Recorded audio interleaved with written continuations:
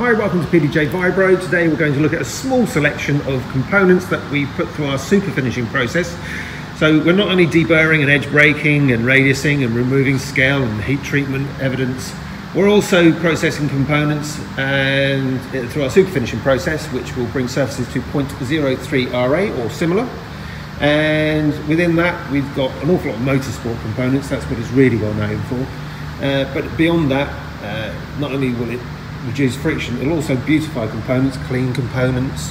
It could be aerospace parts, could be medical, could be body jewelry, uh, got aluminium, stainless, titanium, 3D printed parts, aerospace parts there as well.